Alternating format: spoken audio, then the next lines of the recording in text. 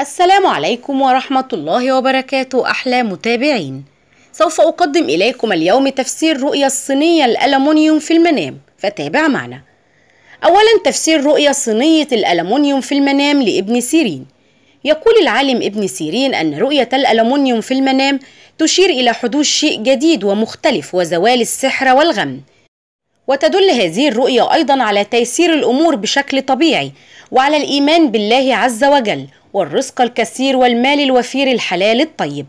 كما تدل رؤية الألمنيوم في المنام على المعيشة الواسعة والسفر خارج البلاد وعدم الاستقرار في مكان محدد ومعين. والله أعلم. تفسير رؤية صينية الألمنيوم في المنام للعزباء. إذا رأت المرأة العزباء في منامها أنها تقوم بشراء الألمنيوم فيدل ذلك على زواجها القريب من شاب صالح وجميل ويطيع الله.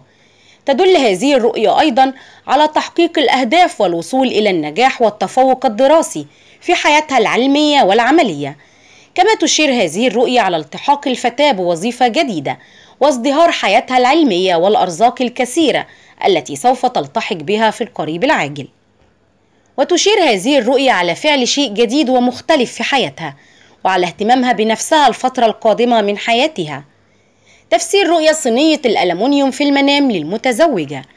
إذا رأت المتزوجة في منامها أنها تحمل صينية الألمنيوم فيدل ذلك على صعوبة تعاملها مع البشر ومع زوجها الفترة القادمة. كذلك تدل هذه الرؤية على زوال الخلافات والمشاكل التي تحدث في حياتها ويدل على السعادة والشأن العالي الذي سوف تناله في الفترة القادمة. كما تدل هذه الرؤية على طاعتها لزوجها وعلى زوال الخلافات التي تحدث بينها وبين زوجها ويدل أيضا على حملها القريب. تفسير رؤية صينية الألمنيوم في المنام للحامل. إذا رأت الحامل في منامها أنها تقوم برؤية صينية الألمنيوم فيدل ذلك على فعلها لبعض الخيرات في حياتها وعلى زوال همومها.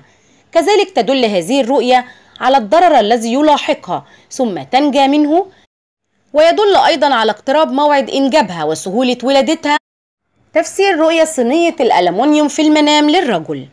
إذا رأى الرجل في منامه أنه يقوم برؤية صينية الألمنيوم فيدل ذلك على التحاقه بوظيفة جديدة يسعى من أجل الحصول عليها.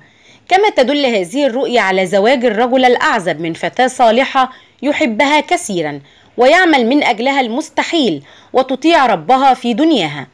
كذلك تدل هذه الرؤية على التفوق والنجاح في حياة الرجل العازب. ويدل على الترقي لأعلى المكانات العالية في المستقبل والله أعلى وأعلم. وإلى هنا تنتهي حلقاتنا ونلقاكم في تفسير جديد. فلا تنسوا تقييم الفيديو بالإعجاب والاشتراك بالقناة ليصلكم دائما كل ما هو جديد لنا. إلى اللقاء.